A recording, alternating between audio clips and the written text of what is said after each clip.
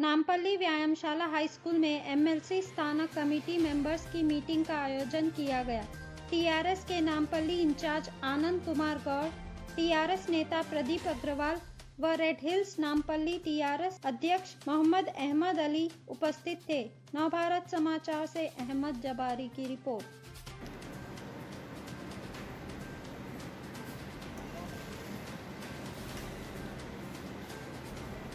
सी H Anand Kumar और Nampally constituency in charge आज नामपल्ली व्यायामशाला स्कूल के अंदर MLC graduate MLC enrollment program का अवेयरनेस प्रोग्राम स्टार्ट किए ये रिडल्स के रीजन में आता है। इसके सदारत हमारे रीजन प्रेसिडेंट अहमद, मोहम्मद अहमद भाई करे हैं। ऐसा मेरे साथ प्रदीप अग्रवाल, नरेंद्र बिल्लम और स्कूल के प्रेसिडेंट श्री दुर्गा प्रसाद और हेडमास्टर्स और उनके साथ पचास साठ टीचर थे, जिनको हम प्रोग्राम ये फॉर्म एटीन कैसा एनरोल करना, ये फॉर्म एटीन में क्या क्या ज़रूरत पड़ती? ये फॉर्म एटीन में एक ग्रेजुएट सर्टिफिकेट सेल्फ अटेस्टेड और उनका एड्रेस एड्रेस प्रूफ के हिसाब से आधार कार्ड है वोटर आई डी कार्ड है इलेक्ट्रिसिटी बिल है, या ड्राइविंग लाइसेंस कुछ भी एक लगा के, एक फ़ोटोग्राफ लगा के, उनका मोबाइल नंबर कंपलसरी उसमें फिल करके या ऑफलाइन या ऑनलाइन में आप दाखिल करें तो ये फॉर्म्स पूरे फिलअप करके आप हमारे ऑफ़िस में दे दिए तो हम लोग उसको इनरोल करके फिर देते ये इलेक्शन पाँच साल में एक बार होता। ये election MLC graduate only graduate जो पास हुए, नवंबर 2017 तक के लोगों को एलिजिबल है।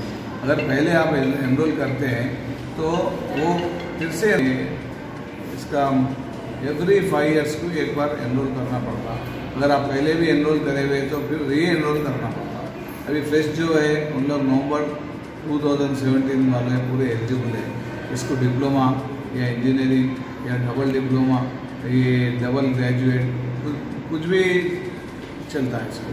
तो ये ये इलेक्शन में क्या रहता बोले तो आम आदमी वोट नहीं डाल सकता। खाली एमएलसी जो है एमएलसी इलेक्शन ग्रेजुएट में खाली ग्रेजुएट ही वोट डाल सकता इसलिए सब ग्रेजुएट्सों से हम रिक्वेस्ट कर रहे हैं कि टीआरएस पार्टी के कैंडिडेट को वोट डालकर उनको जिताने की कोशिश करिए आप, क्योंकि आपको मालूम होना चाहिए के सी आर साहब के पॉलिसीज़ कैसे हैं। के सी आर साहब कैसे सेकुलर आदमी है। के सी आर साहब की पॉलिसीज़ आप देखिए इलेक्ट्रिसिटी ले लीजिए आप आप रहतु बंधु ले लीजिए।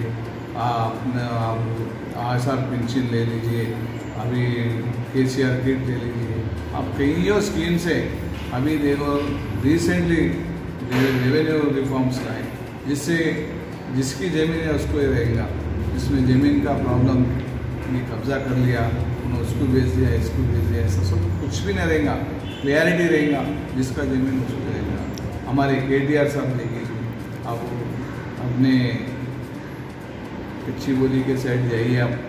डेवलपमेंट देखिए आप बाईपास उन्होंने इंट्रोड्यूस किया और उन्होंने फार्मा सिटी हो। रहे और अपने गोंदिया साइड भी पूरा अपना सॉफ्टवेयर कंपनी आ रहे अभी परसों में दुर्गम चिल्ला का ब्रिज ओपन हुआ। आप वहाँ जाके देखो। आप सिंगापुर में ऐसा दिखता। आप रोड्स देखो पूरे। बाईपास है अंडरपास है ओवर ब्रिजेस है। ट्रैफ़िक के लिए प्रॉब्लम नहीं होना बोल के। विदाउट सिग्नल भी स्टार्ट किए थोड़े दिन में देखिए आप पूरा शहर, कोई जाके पाँच साल के जाए तो हैदराबाद शहर है, क्या बोल के नहीं पहचाने वैसा हो जाएगा। हमारे बहुत नौजवान, बहुत ज़बरदस्त डायनामिक लीडर है विजनरी लीडर है के साहब। हमारे इंचार्ज साई किरण यादव, प्रभाकर साहब और महमूद अली साहब है ओवरऑल इंचार्ज साई हंसानी श्रीनिवास यादव साहब।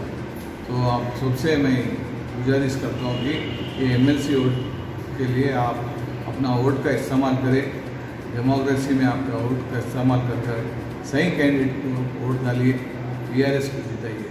जय तेलंगाना। जय के